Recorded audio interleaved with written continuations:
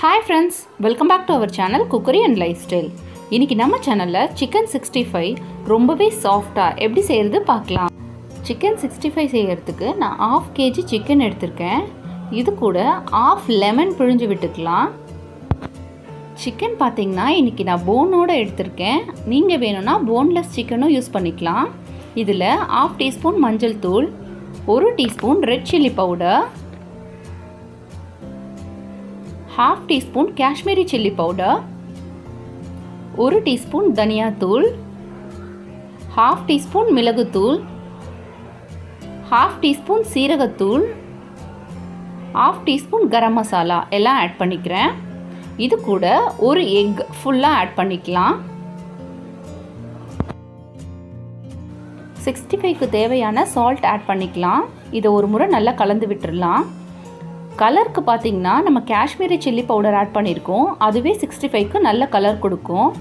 இது கூட half cup curd add பண்ணிக்கிறேன். ஒரு டீஸ்பூன் கார்ன்ஃப்ளவர் ஆட் பண்ணிக்கிறேன். இதை நல்லா மிக்ஸ் பண்ணிக்கலாம். கார்ன்ஃப்ளவர் ஆட் பண்ணுறதால மேலே இருக்கிற கோட்டிங் நல்லா கிறிஸ்பியாக இருக்கும். கேர்ட் நம்ம நிறைய ஆட் பண்ணுறோம் அதனால சிக்ஸ்டி ஃபைவ்க்குள்ளே பார்த்திங்கன்னா நல்லா சாஃப்டாக இருக்கும். நல்லா மிக்ஸ் பண்ணியாச்சு. இப்போ இதை க்ளோஸ் பண்ணி அப்படியே ஆஃப் அன் ஹவர் வச்சிடலாம். இப்போ சிக்ஸ்டி ஃபைவ் எப்படி செய்கிறதுன்னு பார்க்கலாம். நான் கடாயில் ஃப்ரை பண்ணுறதுக்கு ஆயில் நல்லா ஹீட் பண்ணியிருக்கேன். இதில் ஃபஸ்ட்டு கொஞ்சம் கருவேப்பிலை ஃப்ரை பண்ணி எடுத்துக்கிறேன். நீங்கள் கருவேப்பிலை ஃப்ரை பண்ணி எடுக்கும்போது அதோட ஃப்ராக்ரன்ஸ் ஃபுல்லாக ஆயிலில் இறங்கி சிக்ஸ்டி ஃபைவ்க்கு நல்ல ஒரு வாசனை கொடுக்கும். கருவேப்பிலை ஃப்ரை ஆனதும் நான் அதை தனியாக எடுத்து வச்சுக்கிறேன். ஆஃப் அன் ஹவரில் மசாலாலாம் ஊறி சிக்கன் நல்லா சாஃப்டாக இருக்குது இதை இப்போ ஆயிலில் டீப் ஃப்ரை பண்ணிக்கலாம். சிக்கனை ஒரு முறை நல்லா கலந்து விட்டுட்டு ஒரு ஒரு பீஸாக ஆயிலில் ஆட் பண்ணிக்கலாம். மொத்தமாக ஆட் பண்ணிடாதீங்க.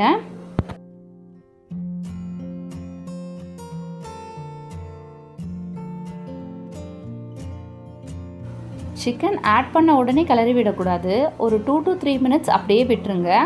அதுக்கப்புறமா சிக்கனை கலரி விடுங்க. ஸ்டவ் பார்த்தீங்கன்னா மீடியம் ஃப்ளேம்லேயே இருக்கட்டும். ஹை ஃப்ளேமில் வச்சு ஃப்ரை பண்ணாதீங்க.